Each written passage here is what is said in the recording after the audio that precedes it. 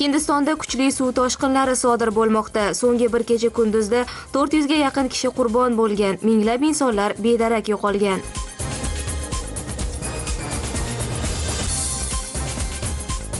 Indoneziyaning lambok orolida yana yer silkinishi sodir bo'ldi. Rixter shkalasi bo'yicha 6.3 ballga teng bo'lgan zilzila markazi matarama shahridan sharqiy tomonda 7 kilometr chuqurlikda joylashgan.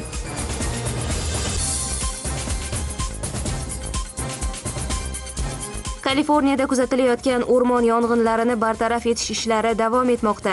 Alanga ichida qolgan aholini evakuatsiya qilish jarayonida o't o'chiruvchilardan biri hayotdan ko'z yumgan.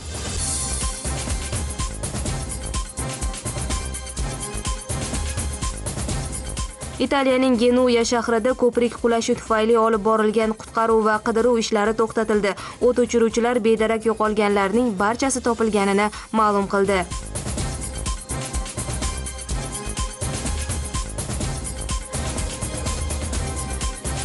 Chililik dengizchilar baliq to'riga o'ralashib qolgan kitni qutqarishga muvaffaq bo'ldilar.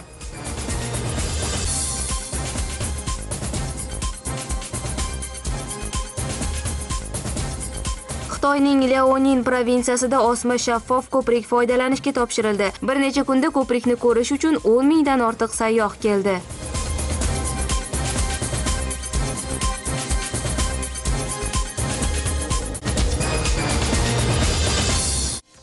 Hindistonda kuchli suv toshqinlari sodir bo'lmoqda. So'nggi bir kecha kunduzda 400 ga yaqin kishi qurbon bo'lgan. Minglab insonlar bedarak yo'qolgan.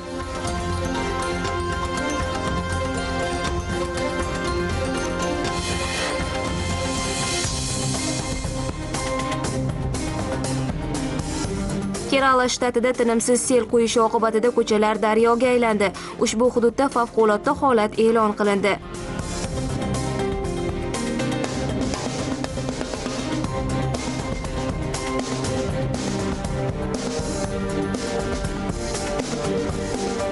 Ikki yuz yigirma mingdan ortiq kishi boshpanasiz qolgan. Mahalliy hukumat ko'chada qolgan aholi uchun uch mingdan ortiq maxsus lagerlar tashkil qildi.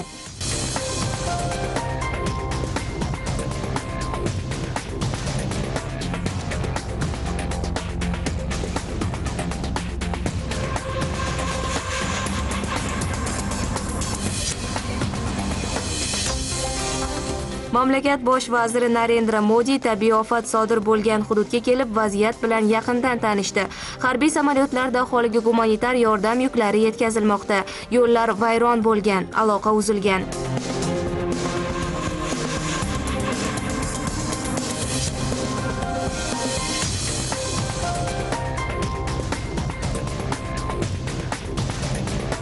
Tabiiy ofat tufayli yetkazilgan zarar 3 milliard dollarga teng ekanligi bildirilmoqda. Kerala shtatida yomg'irlar mavsumi iyun oyida boshlangan. Ammo so'nggi kunlarda vaziyat keskinlik tomon yuz burgan. Bu so'nggi 100 yil ichida kuzatilgan eng kuchli suv toshqinlari ekanligi ma'lum qilindi.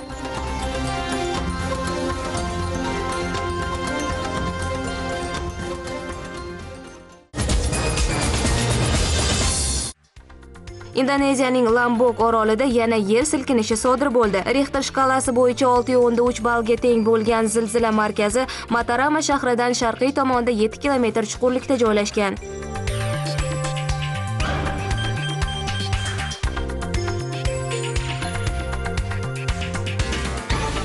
Indoneziya favqulodda vaziyatlar vazirligi xabariga ko'ra tabiiy ofat aholini karaxt holga solib qo'ydi. Sunami kelib chiqish xavfi yo'q. Yer silkinishi lambok oroliga qo'shni bo'lgan bali orolida ham sezilgan.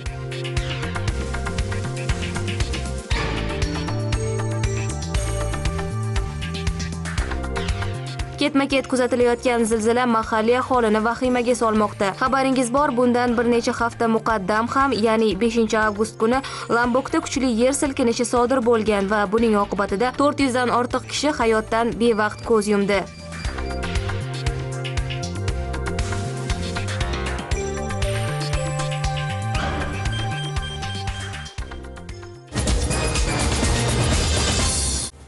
Kaliforniyada kuzatilayotgan o'rmon yong'inlarini bartaraf etish ishlari davom etmoqda. Alanga ichida qolgan aholini evakuatsiya qilish jarayonida o't o'chiruvchilardan biri hayotdan ko'z yumgan.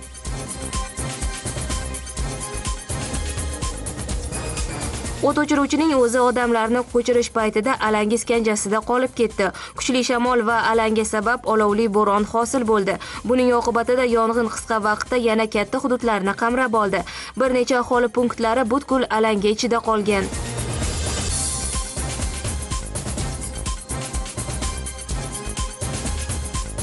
Sakramento vodiysidagi issiq ob havo va shamol tufayli tabiiy ofat ko'lami kengayib bormoqda.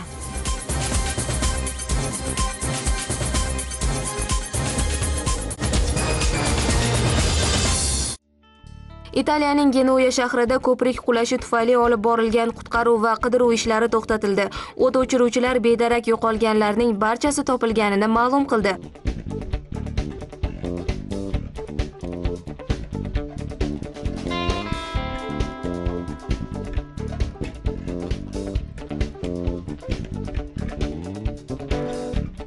Ko'prikning kutilmaganda qulab tushishi oqibatida 43 kishi hayotdan bevaqt ko'z yumdi. Ayni paytda georadar yordamida ko'prik konstruksiyasining qolgan qismini ham tekshirib chiqyapmiz deydi o't o'chiruvchi stefano zanut.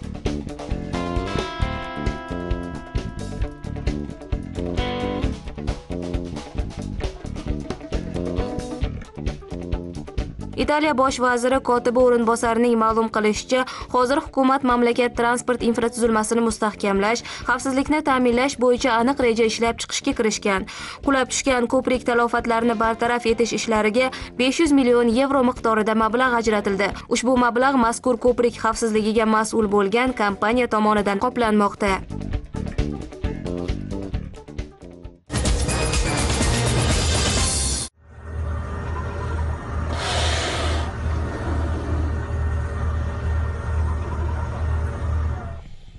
Dengizchilar baliq to'riga o'ralashib qolgan kitni qutqarishga muvaffaq bo'ldilar. Bu haqda puerto uilyams shahri ma'muriyati ma'lum qildi.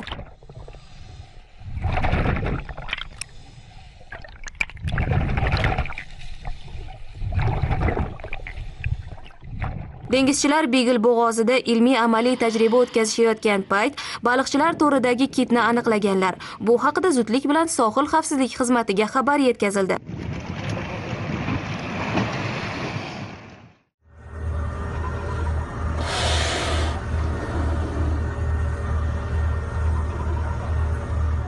Voqea joyiga qo'shimcha katerlarda veterinarlar va qutqaruvchilar guruhlari yetib kelib jonivorni to'rdan xalos qildi.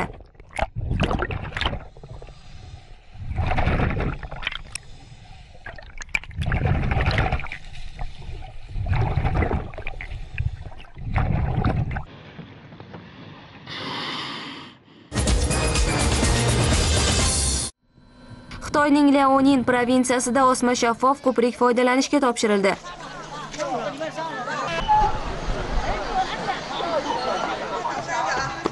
Bir necha kunda ko'prikni ko'rish uchun 10 mingdan ortiq sayyoh keldi.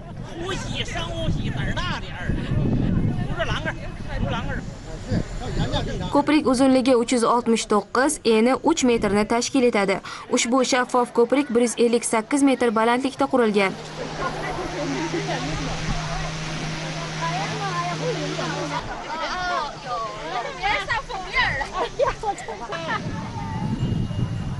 Ko'prikda bir vaqtning o'zida 800 kishi yurish imkoniyatiga ega. Bunday balandlikdan tabiatning betakror manzarasini tomosha qilish mumkin. Aytish joiz xitoyda o'nlab ana shunday shaffof ko'priklar qurilgan bo'lib ular hamisha sayyohlar bilan gavjum.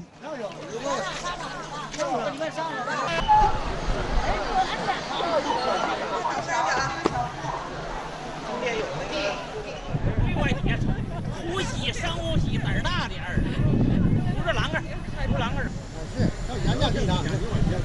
人家在一个地方